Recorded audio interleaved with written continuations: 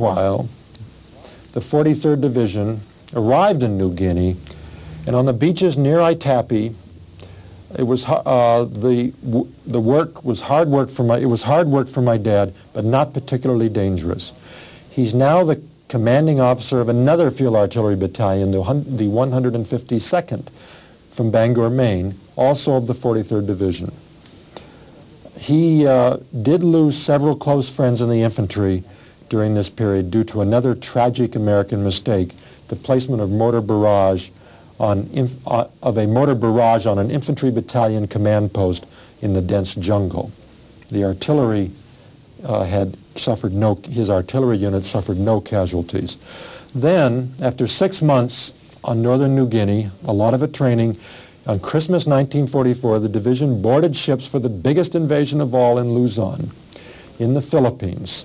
The return to the Philippine Islands, the, main, the return to the main island of the Philippines, where Manila is. You see on this mosaic the big line that shows where the, his division and other divisions went into Lingayen Gulf northwest on the, the big gulf on the northwest shore of Luzon. This mosaic also from the Manila Cemetery. Ships dotted the ocean as far as the eye could see. It was a show he wouldn't have missed for the world. He wrote, some moments are worth a lifetime and and these are they. Some moments are worth a lifetime, and these are they. They landed in Lingayen Gulf on January 9, 1945. The landing was uneventful, though the Navy the previous day had taken a frightful beating at the hands of Japanese suicide kamikaze planes. He went ashore 15 minutes after H hour at San Fabian, his first artillery howitzers were set up on the edge of the beach and were firing within the hour. The infantry proceeded inland, but at least one soldier saw no more than one day of the Luzon combat after experiencing the drama of the invasion. It became a fast-moving campaign with the artillery frequently moving. Dad's battalion was known to some as Bradt's mortars because they were so often right behind the infantry. My father was an aggressive commander. His former soldiers today are still proud of this reputation and claim that on occasions they were even in front of the infantry. But some of his contemporary senior officers have uh, commented rather critically of him as being a shade too reckless. He was aggressive personally too. He earned three Silver Star medals for personal bravery in this five-month period of combat. He clearly was pushing hard. After the first phase of combat, about three weeks, the battalion spent a week of rest in the beautiful hacienda. You see what it looks like now here. This beautiful home in Guimba, where the townspeople arranged dances on the well-kept lawns at, in the evening. Then back into combat again in March. It was becoming more of a job, but not always dull, as he wrote. Yes, we did go into a new action on the day you mentioned. He's writing to my mother and went through the Japs for three miles the first day. Since then, we've had them off balance and have moved so fast they sometimes forgot to fuse their tank and personnel mines, which helps. Those were the ones I drove over, and then found them behind my car. Maybe you don't think that's a thrill. There was the other time when my car wheels went between two percussion fuses set in a 100 pound, pounds of TNT, and Fish's car stopped with his front tire one foot short of and in line with the fuse. His driver took one look, said, I feel sick, and laid down right there until he had recovered from the shock. There are special days and just days in combat. You can see this was one of the special ones. And later in the letter, Papa has a new bathrobe. It's the biggest I ever saw, made from Jap muslin. It is a gorgeous dark red with big four-inch light red and yellow flowers.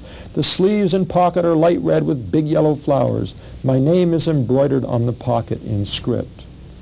Toward the end of this second phase on April 5th, the 103rd Regimental Combat Team, which included my dad's artillery, was approaching a critical bridge at Lumban over the Pagsanjan River. It was in the hands of the Japanese. He earned this, his third Silver Star for this one. He describes it two days later in a letter to my mother. Everything turned out okay the other night. I am back at the command post and have had a good night's rest. There are a lot of tall tales about now about Colonel Cleland's and my Horatius at the Bridge Act. I'll give you the facts, not the stories, although they are much better. The critical point was a long wooden bridge over the unfordable river in a deep gorge. If the Japs were able to burn or blow up the bridge, we would be stopped for days. In the meantime, we were plugging on down the road. Just before we reached the bridge, I lifted the artillery and we moved onto the bridge. Just as Cle Colonel Cleland and myself and two other officers with about 10 men reached the other side, the Japs hit the company behind us with machine guns, anti-tank guns, and a whole lot of mortar. Obviously, the company became very busy and we had a bridge to hold. Just then, Colonel Cleland spotted the Japs on our side of the bridge coming back. He shot the first one with his pistol. Captain Averill shot another, and his driver, Joe McLeod from Bangor, I think, still another. In fact, about every one of yours truly was either hitting or missing Japs. I was flat on the ground, radioing for artillery fire because there was a large group of Japs assembling about 300 yards away. Things looked pretty hot for a few minutes, but the dead-eyed dicks, meaning the guys with pistols, held out until I got the artillery on the larger group. He was stranded over there that night, but in the failing light in his foxhole, he managed to scribble a penciled note.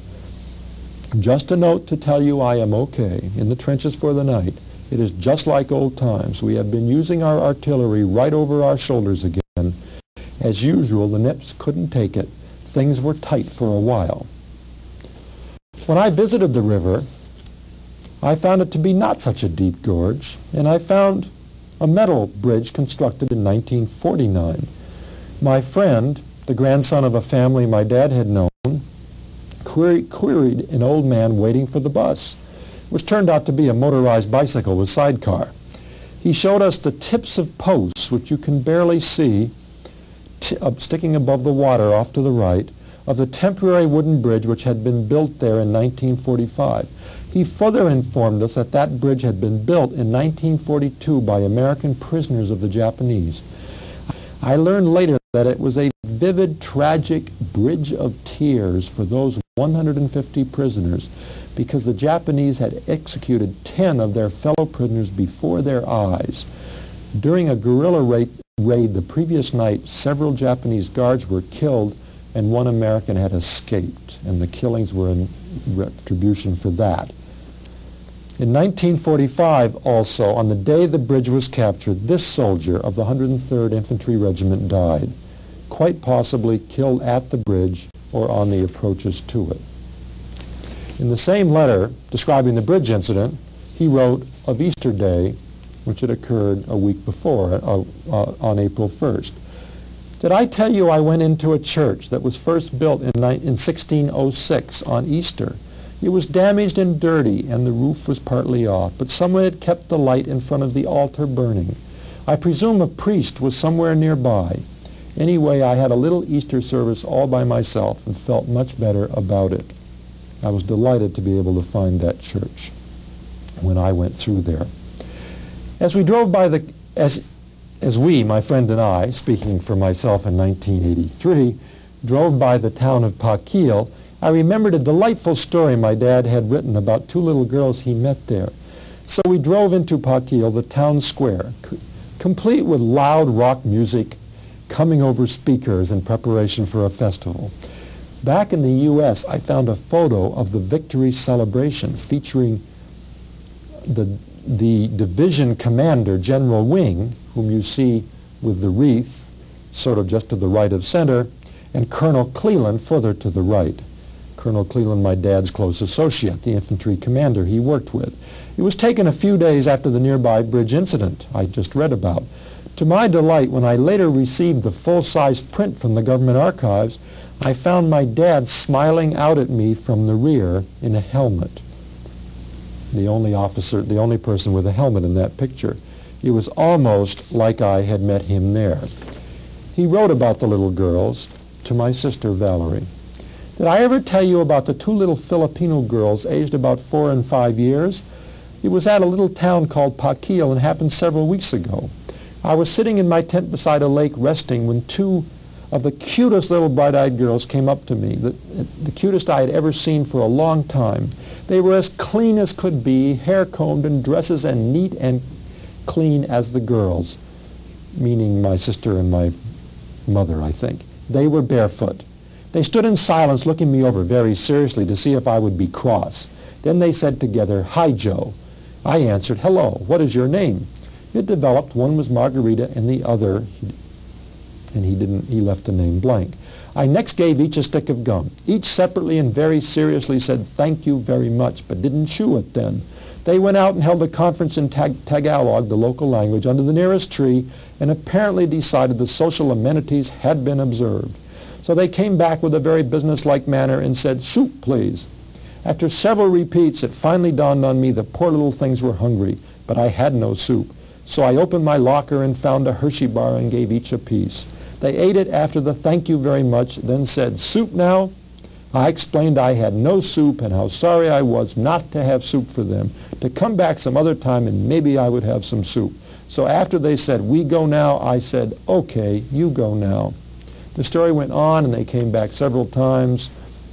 And finally, he writes, I had to admit, still no soup. I was very sorry. I wished I could and wished I could give them some soup. They were terribly disappointed. My day was ruined. War was hell and everything was wrong in a world that wouldn't even give two hungry little girls the soup they had waited so long for Americans to bring. I nearly cried. Just as they left, I gave them the half-used bar of soap I had been using. They fairly danced with joy, eyes bright, said, yes, soup, thank you very much, we go now. I said, yes, you go now. They raced away through the coconut grove holding hands. Americans were, Americans were dumb but nice. I collapsed in my chair. Within a few days of this April celebration and the Pakil event, a Pakil story of the little girls, President Franklin Roosevelt died in Georgia. His death reverberated through the souls of the American people, much as Kennedy's did in later years. I remember the moment I heard of it. I was 14 and had known of no other president. The final and third phase of the Luzon combat, the capture of Ipo Dam in the mountains northeast of Manila, last, lasted from 3 to 18 May. It rained furiously part of the time, but and making, making road and phone line maintenance a heartbreaking difficult task. However, some days it was hot, as he wrote to Valerie. I want to especially thank you for the big envelope full of funnies. The little surprise gum or, gum or candy bar is nice too. Day before yesterday, I was up in the front lines. It was a terribly hot day. The ground was muddy and the trail went up and down steep hill after steep hill. In the valleys, I practically had to crawl through brush and vines. On the hills and hilltops, the trail went through cogon grass, which is thick and taller than I am. I was plugging along wishing I had water, wishing I could find a breeze, wishing the war was over, wishing we had the dam we were after, and wishing I was home, when I found a pack of charcoal gum in my pocket. I put the whole big piece in my month and literally chewed my way up to the front lines, did some survey, told the infantry commander where he was, and then chewed my way back to my car and water. So you see how much your thoughtfulness helped me. It isn't the size of the gift or its cost that counts. It would not have sold that, I would not have sold that gum for $10. That'd be $100 today maybe. The nicest part of all was the fact that I knew all that time my girl loved me. It was just like a holiday for me. On May 18th, the dam was captured. The Germans had surrendered in Europe on the 7th, and VE Day, Victory in Europe, was proclaimed to be 8 May by President Truman. Unbeknownst to the 43rd Division, this completed the last serious combat for the 43rd Division. Only minor mopping up operations remained.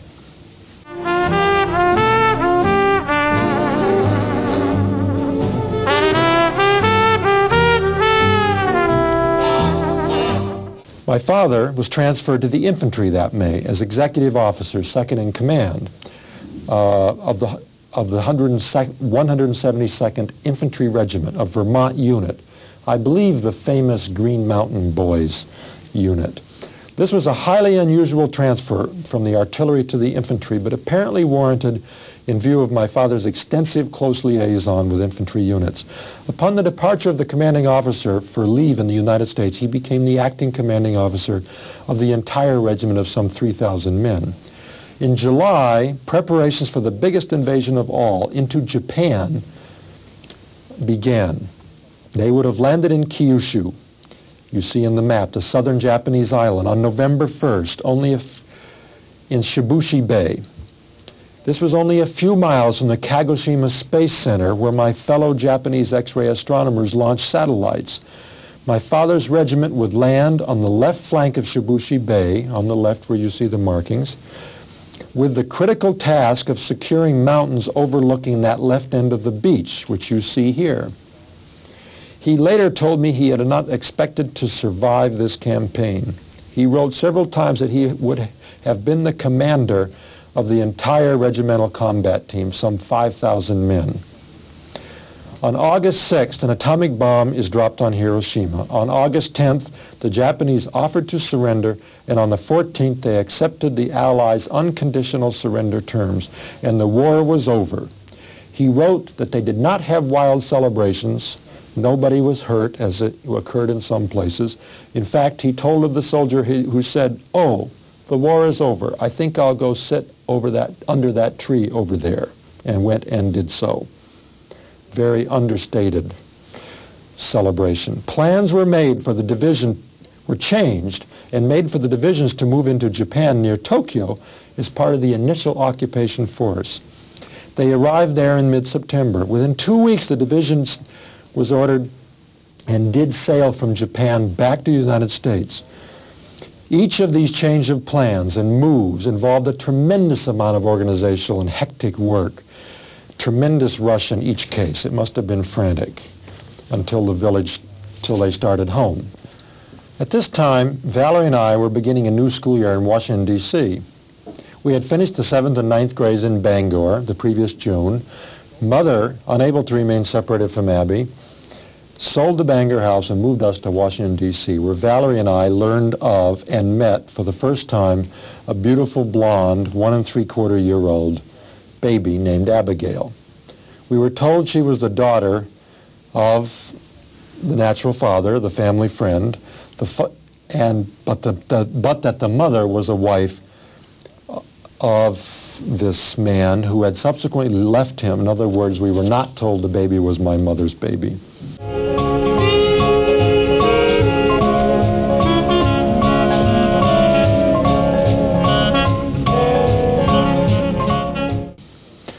On October 5th, three days before entering San Francisco Harbor, my, on the USS General Pope, my father wrote a final, final tribute and plea to my mother.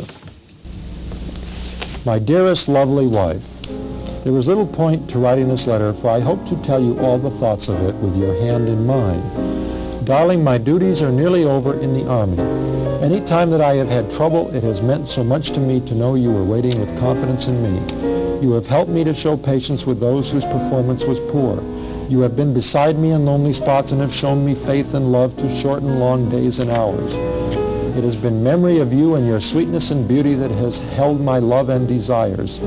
I have been true to you and have touched no other woman. This has been hard through the long months, but I knew you too were needing caresses and denying yourself. You have always been so clean, so true, so fastidious, so much the perfect mate that I could not leave your love even for an hour. These have been times when I lacked the courage. There have been times when I lacked the courage to continue the pace I had set for myself, when it was a temptation not to go into dangerous places that day. On those days you have reassured me, and I know of nothing more than any nothing more any man could desire than these treasures you have brought into my life. Neither do I forget the two fine children you bore me. Your love brought joy in my life when you gave me those dear little mites. Under your guidance they have followed the right road.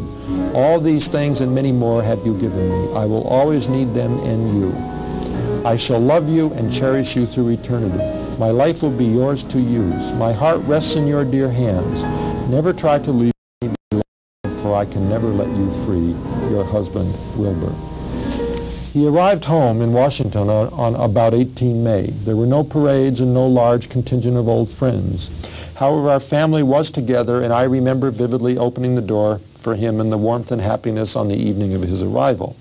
He checked into the Fort Meade base and into the hospital as an outpatient. He was home a lot, and I remem remember hearing many vivid stories of his experience, experiences and a warm Thanksgiving and a warm Thanksgiving, turkey and all. Shortly thereafter, he wrote these revealing comments to his brother Rex. He's only been home five weeks or so now. This is a Tuesday, November 27th. I've been quite thoroughly examined and several things of a minor nature cleared up and others treated. I'm free of an intestinal parasitic infection, have malaria but have successfully gotten off malaria medications. Teeth are okay. A fragment of steel in my right forehead, that's from that bomb, has been located and will probably be left alone. A back injury is apparently going to entitle me to a good cane, for they can't find anything by x-ray. However, it doesn't bother me enough to matter. One reason I'm still being held here is simply combat fatigue. I'm just plain tired, so tired that at first writing, at first writing was difficult and enunciation poor, and I tended to be hysterical. I never noticed this. It seems that when I relinquished my command and was told officially I was tired, I just all at once realized and admitted to myself and then was tired. I am much improved after a month here, mainly due to a lot of sleep and freedom from responsibilities, so will likely be released soon. I've avoided many outside contacts largely because of the above reasons, but now I hope to get organized on the matter of a job. I don't know if I will go back to Maine or not. His old job at the University of Maine, head of the chem department, was still waiting for him. The schools there aren't as good as I want for the children, and frankly, the winter there doesn't appeal to me now. Some job farther south where there are good schools would interest me a lot. I may look around this part of the country while I'm here and will consider industry as well as university work. Also, I have a lot of study to do since I've already, some I've already started. In fact, he found the study of chemistry quite discouraging. He had forgotten a great deal. To Mother's great distress, he had given away he gave away many of his chemistry notes to a scrap paper drive. There was, and she frantically went searching, trying to recover them, unsuccessfully. There also was tension between him and mother. I do not know the de details of that, but suspect they really didn't talk much about how they really were feeling about things. Five weeks was not very long. Later that week, his malaria flared up again. On Saturday, he decided to stay home rather than return to the hospital. In the morning, while Valerie and I were off at music lessons in the dentist, he was sorting souvenirs for he was sorting souvenirs in the basement for Christmas presents. His personal 45 Colt pistol was among them. Mother heard, heard from upstairs, heard a loud bang, and went running into the street for help.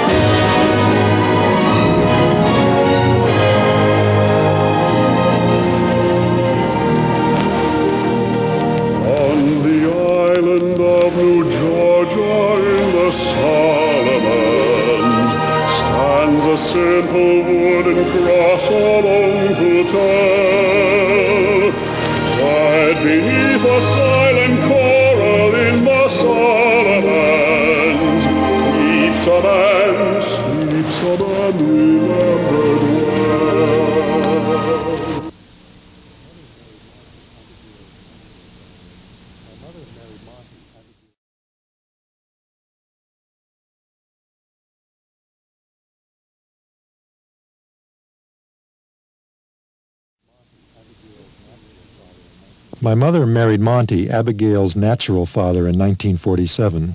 During the 32 years of their marriage, she worked tirelessly with him in his various newspaper enterprises and unselfishly cared for him during his last years.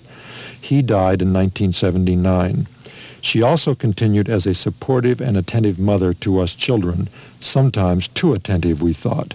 She also managed to keep up her piano playing, but unfortunately is now no longer able to play. Valerie is a journalist and realtor. She lives in Maryland, has three grown sons and one grandson.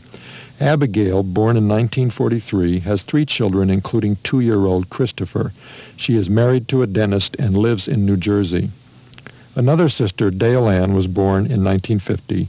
She is married, has two daughters. She resides in Curacao and works in public relations. Dave, my audience will fall asleep if you make me do this too much.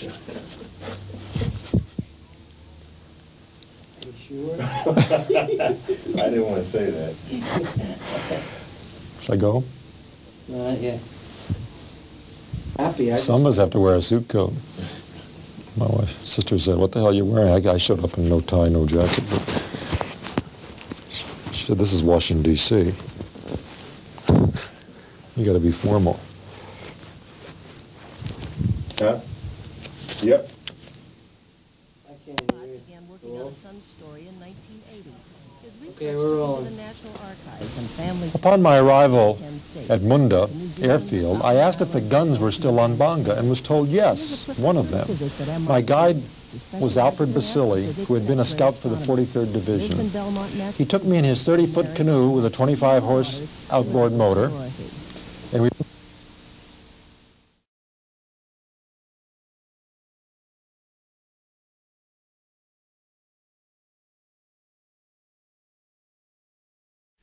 As I look back over this presentation, which I made some 20 years ago, I recall well how on my 50th birthday in 1980, in a resurgence of nostalgia, I found and reread some of my father's letters.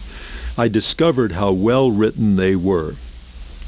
They are descriptive, technically accurate, at times humorous, and always labeled with a date, which enables the larger context to be known. Most were to my mother, but many were to his parents in Indiana, and some were to me and to my sister Valerie. We were 10 and 8 respectively when he went on active duty. Fortunately, in 1981, I was able to retrieve almost all of them. They paint a comprehensive, rich, and personal picture of wartime from the eyes of a single soldier who happened also to be a good writer. This account is based on these letters, on historical accounts, and on my recollections together with those of my mother, relatives, and his military associates whom I interviewed in the 1980s. The photographs shown are from personal family collections, the World War II Signal Corps collection at the National Archives, and my own visits to the Philippine and Solomon Islands in 1983. The occasional background piano music is from recordings of my mother's playing. The narration is preceded and followed with a mobile artwork of Thomas Kovachevich. In this work he placed two pieces of paper cut to different shapes, one a square and the other a circle, on a large triangular sheet of plasticized but porous fabric that floated on a bath of hot water. The hot vapors rising through the fabric are absorbed by the paper pieces, causing them to curl up and move in largely unpredictable ways. The complete piece shown at the end of this presentation is eerily reminiscent of my parents' lives. This has been a recreation of a talk I gave at the List Visual Arts Center of MIT in April 1985 in collaboration with Mr. Kovachevich. The scenes of his work are from that presentation. My narration was redone and recorded in 1986 at the Democratic Media Center in Washington, D.C., and the original editing of video, photos, voice, and music was done there also. My sister Valerie organized and assisted with the production. Subsequent editing and labeling were provided by MIT Video Productions. I am now retired and living in Salem, Massachusetts. Dale Ann now has four children, and we four siblings, my mother's four children, all have bragging rights about our grandchildren. Three of our spouses survive, as do two of my three older stepbrothers and all of their spouses. My stepfather treated Valerie and me as his own, and the two sides of the family, Wilbers and Montes, have remained close to this day. I am now 74, and my generation is passing on. There is now a multitude of younger family members, including at least two in the womb as I speak. This story of our family's upheaval during the so-called Good War and its eventual survival is intended for them.